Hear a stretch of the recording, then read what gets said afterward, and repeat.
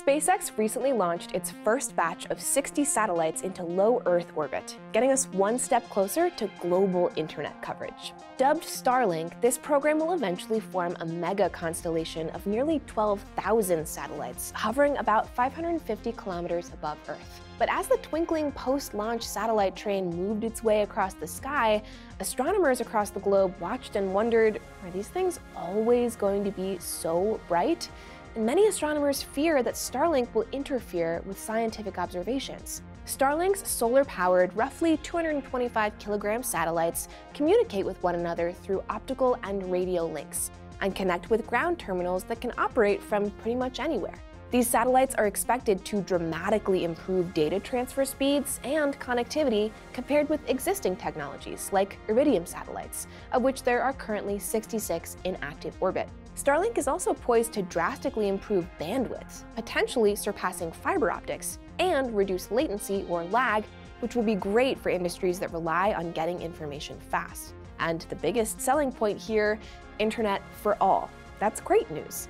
But what about the risks of Starlink cluttering our night sky? Roughly 5,000 satellites currently crowd Earth's immediate environment, and Starlink is set to nearly triple that number. So astronomers aren't exactly starstruck with this idea. In recent statements, astronomical groups strongly recommended that a regulatory framework be developed to address a number of new challenges posed by the potential increase in satellite bodies. As the plan currently stands, some of the satellites will utilize frequencies neighboring those that radio astronomers use to study the sky. This interference could make it tricky for ground-based instruments like the Event Horizon Telescope to clearly view distant objects in space. I mean, if it hadn't been for a sky free of radio interference, researchers may never have captured our first image of a black hole. And then there's the problem of all of the light that Starlink generates. Like Iridium satellites, they can flare by throwing bursts of reflected sunlight back from their solar arrays down towards Earth. Flares aside, it's suggested that the satellites will also be consistently bright.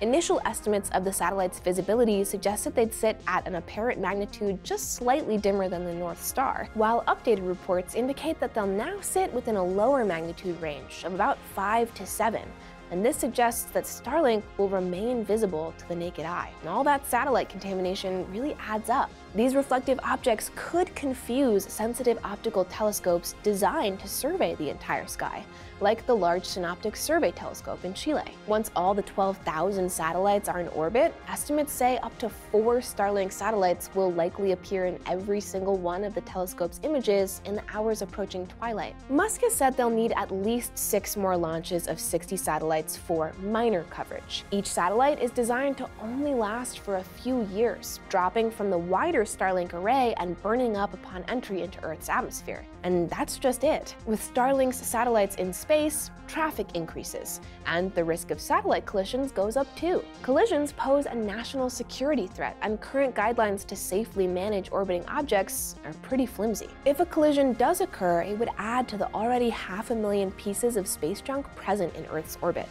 And in response to all this, Elon Musk has focused on the need for internet access for all, and that we need to move telescopes to orbit anyway. But where does that leave astronomers who don't have the ability to travel into space on a whim? Or even those of us who just love to stargaze. Space is basically a regulatory Wild West, which presents a whole lot of unknowns for us here on Earth. To address astronomers' worries that communication satellites could ruin their careers, SpaceX has been working with the National Science Foundation and the National Radio Astronomy Observatory to try and keep observations clear of any disturbance. It's also announced plans to redesign the next Starlink batch to appear less bright. But SpaceX isn't the only company casting an internet into the galactic sea. OneWeb launched a fleet of comm satellites earlier this year and is also working on ways to reduce radio frequency interference and low Earth orbit clutter. Canadian company Telesat promises to operate its satellites at higher orbits so they'll appear fainter and Amazon too is quietly developing tech for its own Project Kuiper. As the market for space real estate heats up, projects like Starlink are destined to become more common. Close collaboration between astronomers and these companies will be essential to keep internet connections strong and our observations of the sky clear. Because after all, astronomers are kind of like our very own guardians of the galaxy. So, what do you think? Is it time to move astronomy into space? Or figure out a way to move satellites away from Earth? Let us know in the comments below, and don't forget to subscribe for more Seeker. I'll see you next time, and thanks for watching.